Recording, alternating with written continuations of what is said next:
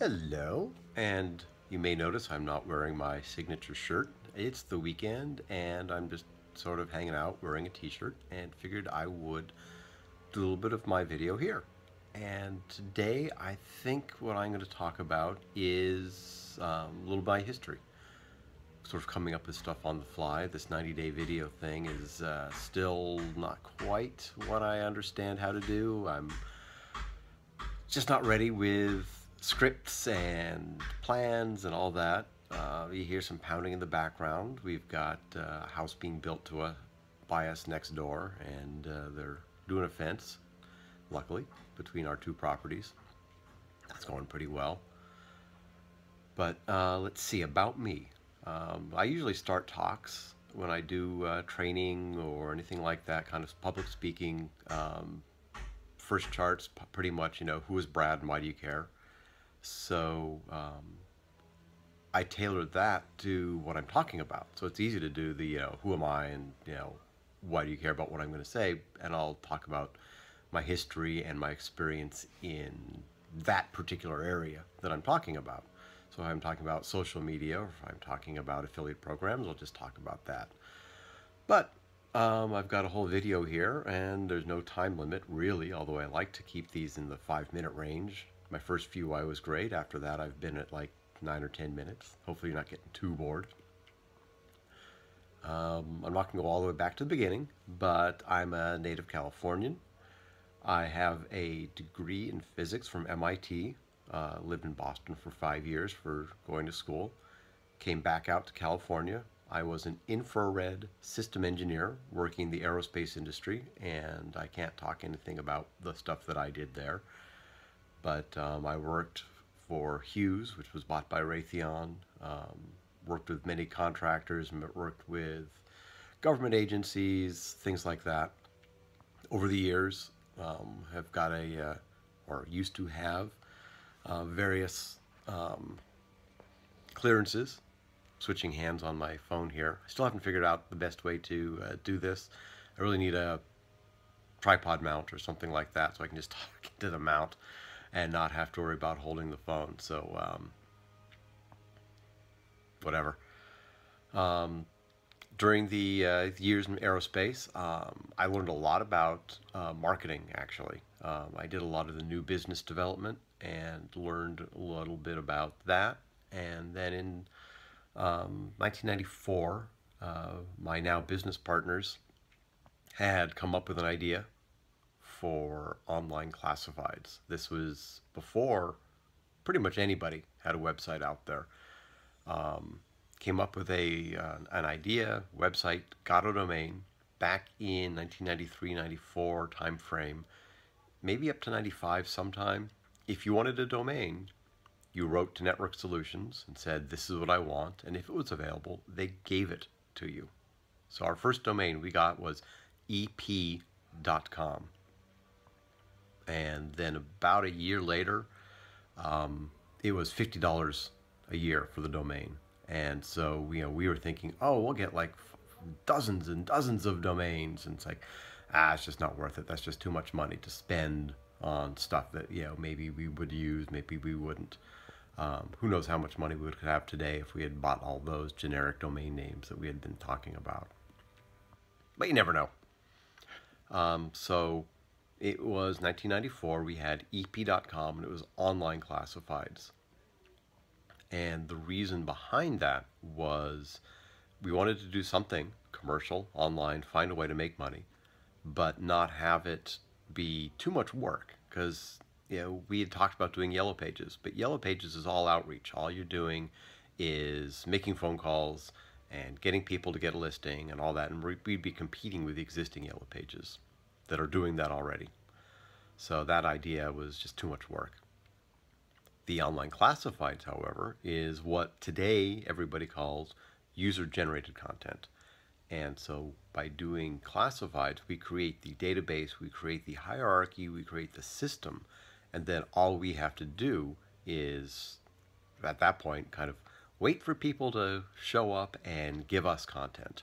There's a little more than that because you actually have to let them know that you exist and get the content and manage it and do customer service and emails.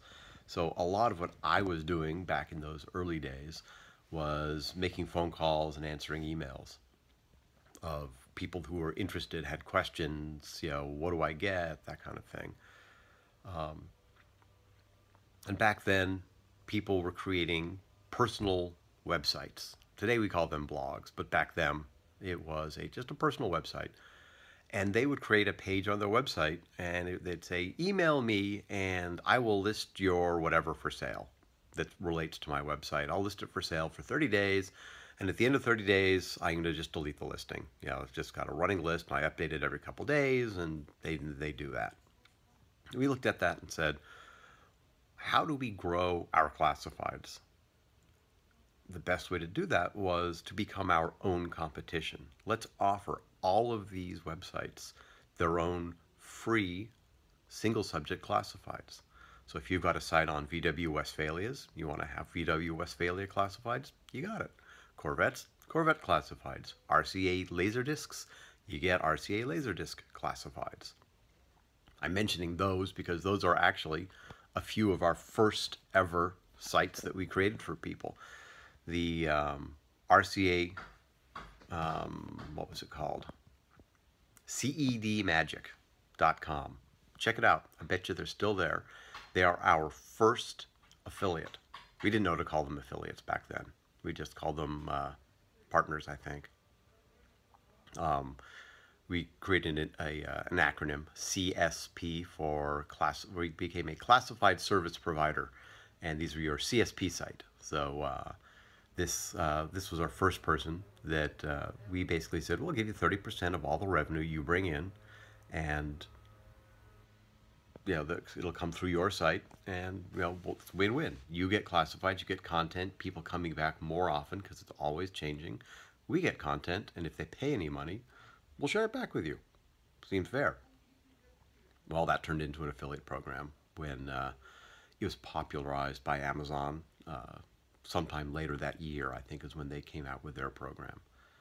Um, through that, I ended up doing a lot of speaking and training on affiliate programs, how to set up affiliate programs. So in 1998, 1999, I was traveling around the country giving these three-hour workshops on what an affiliate program is, why you need one, how you set it up, who the software providers are, how you might do that, how much it might cost. There's you know a whole whole big thing. Um, I dealt with small companies, big companies, you know, you name it.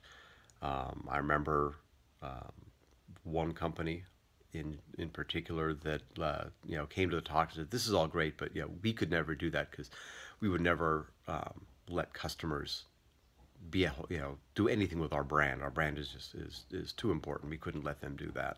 Well, about two years later, they had an affiliate program. Um, so during that, I met some of the people that are uh, early involved in the affiliate industry, and uh, there were other shows. Uh, there was one called Affiliate Force, uh, and through that I ended up meeting Shawn and Missy, who created Affiliate Summit, which is the t-shirt that I actually happen to be wearing today. Um, but the uh, so I, I, spoke at many of those conferences. I've been attending those conferences for years. Know all the people there. Um, back, you know, it was Commission Junction, Be Free, LinkShare. Um, there's been a bit of uh, consolidation, so you know people have been bought, but um, you know I know a lot of the early people from those days because we were you know on a cruise together or in a show together or speaking together. Um, so that was a lot of fun, um, and we're still involved in that. It's just not as busy. Um, in the late 90s as well, we also had an idea for an advertising management service. Um, I was managing all the banner ads on our site. And the way it worked was somebody would want to take out an ad, and I would have to go and get the order and talk to my programmers and get them to edit the page. And it was just a lot of work. So what they did was they created a way for me to have basically slots. And I had I had 10 slots on each page type that we had. And if I got an order, I could say, oh, you want to have 25, or actually that doesn't work. you want to have 30% of our inventory, I'll give you three slots on this page. And so I was then able to manage all the display advertising on our site. We looked at it and I said, hey, what about doing this for other people? If we were able to get remnant advertising that we had, which was basically affiliate ads and there are other display ad networks that we could show content from, we could say, put this code on your site, you will have automatic advertising, you'll have something there, we'll do a revenue share with you, and there'll be a link at the bottom of every ad that lets somebody just buy that space. And um, it was, you know, I think it was a great idea, and it was going pretty well. And we were starting to actually shop it around to venture capital. And then the bubble burst. It was the first of the dot com bubble bursting, and nobody wanted to invest in it anymore. Um, we didn't have that much time to really put into it. We didn't have that much money to you know advertise it and get it out there. And by the time things turned around and it was starting to work better, Google came out with AdSense, and people just gravitated towards that. So um, that business uh, went from serving 300 million ads a day down to a couple million ads a day.